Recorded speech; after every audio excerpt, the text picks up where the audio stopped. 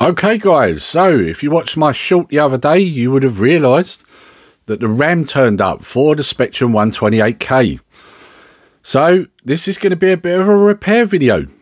As you know, or if you've watched any of the previous videos, I had a bit of a problem when I first got this. There was uh, a, a graphical glitch going on, games weren't loading properly. So, I put it out there to a few other YouTubers I know, and also in general to anyone who knew anything about them because I'm quite new to Spectrum. I always had Commodore 64s. So so I put it out there to people. Anybody know what this could be? And most of the uh, replies I got was RAM. It's got to be the RAM. So I went online, I looked on eBay and places like that. And when I looked at the prices, I was like, Jesus Christ, like you're looking at nearly a tenner per chip in some cases. And I thought, I've got to replace four chips here. It's 40 quid. I've just forked out quite a bit for this Spectrum do I want to be paying this? But at the same time, I'm also thinking, I want to bring this thing back to life. You know, this thing's 40 years old. Like, you know, let's get this thing repaired. So then I, I looked around on AliExpress and I found them on there really cheap. 10 chips for £8, including, including the postage. So I figured, well, why not? Even if they're rubbish, I've not really lost anything. So, join me, guys, and watch the little bit of footage I've just done here of me fixing the spectrum. Hopefully. Let's see what happens.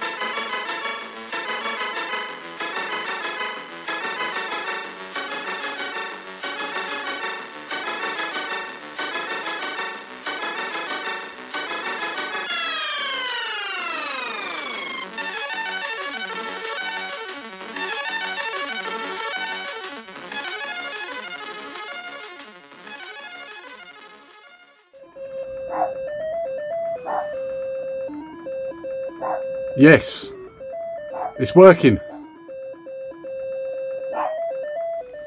So, you see me repairing it, and you've just seen that little clip there of Nifty Lifty working. Could, could you tell from my voice there when I was like, oh, it's working? Could you tell I was excited? I felt like I was almost like 10 years old again. So, yeah, so it works. However, there is a slight issue. Out of the four tapes I tried on it, I tried uh, Empire Strikes Back.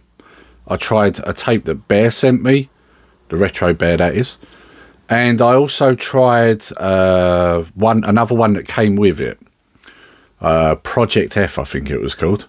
None of them worked. All crashed. Both sides of the tape, and I tried them several times. Nifty Lifty, however, every time I loaded it up, it worked.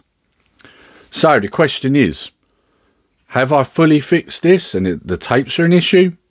Or is it there's still something dodgy with one or maybe all of the RAM? Don't know.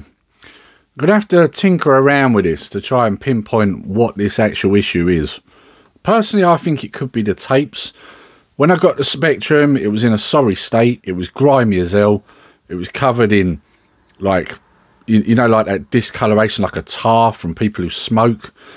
It, inside, it was obviously you'd expect it to be dirty inside, but it seemed like it had probably been chucked in a shed somewhere.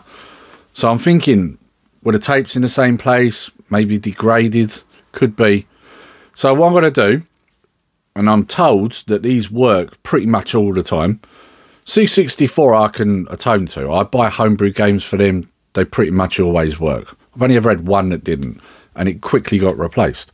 So Spectrum, not so sure, but I've been told by Paul and a few others, so I generally homebrew games on the Spectrum will run without any adjustments or anything. So, this is what I've done. I've ordered a homebrew game. Once it gets through, I will try it out. Now, if this works and it loads up, then we know it's not the computer, it's the tapes. So, I mean, this is a thing. Is Nifty Lifty loading up because it's 48k and the system isn't running in 128k? Could be. But if I get a homebrew game that's a 128k game and it loads, then we know it's not that, right? At this point, it's a process of elimination, isn't it? So, so that's what I'm going to do. So I'm waiting for that to come through. Going to give it a go. If it works, then I get my answer. However, if any of you guys have an idea and you think you know what the issue is, let me know in the comments below because it'd be a big help. Like I said on my previous video, you know, I didn't have Spectrums when I was younger. This is all new to me. I had Commodore 64s, but because of other people I know in the YouTube community that have Spectrums, it kind of drew my interest, and this is why I've got one. And I, I love 8 bit micros, I've got to be honest, I do.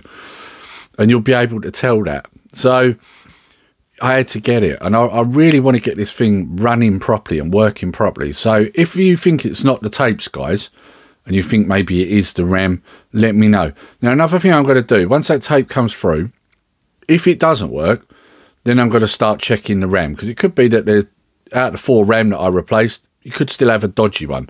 After all, they came from China, you never know. So it's going to be a process of elimination. I'm just going to try all different things and see what happens. But like I say, guys, if you know what it is, let me know, know down below. Right, that's all there is to say really on this. And until next time, take care, stay safe. Nerdy Geezer out.